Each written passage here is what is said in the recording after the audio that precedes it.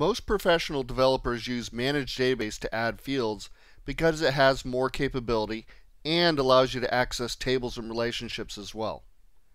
So let's add our housekeeping fields via this dialog. So just go up to the File menu, choose Manage Database, and you'll see up at the top that you have tables, fields, and relationships. We're actually going to switch to tables real quickly, and notice that the table that's in there, FileMaker created for us and called it CRM based on the name of our file. I'm going to change it to contacts. Just hit the change and then come over to our field section for contacts. If you had more than one table, you would see it located under this pop-up menu. You can see all the fields we created. We're going to add our housekeeping fields, which allow you to keep track of what's going on with your records.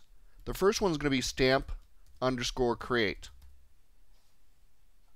That'll be a timestamp, and a timestamp is a date and time separated by a space. We'll create it, then go into Options, in the auto enter section, we'll click on creation and usually want to hit prohibit modification so you don't accidentally override the value so it's it can't be changed. You want this to be accurate information. And then we'll come in here and say stamp modify. Make sure we keep it lowercase. Create. Go into options. Modification time and date. Prohibit. Then we'll move on to account. Create. This will be who uh, created the actual record, who was logged on, if you have multiple users. Now don't forget to change it to text. Hit create. Go into options. Creation, we need to pop this menu up and choose account name.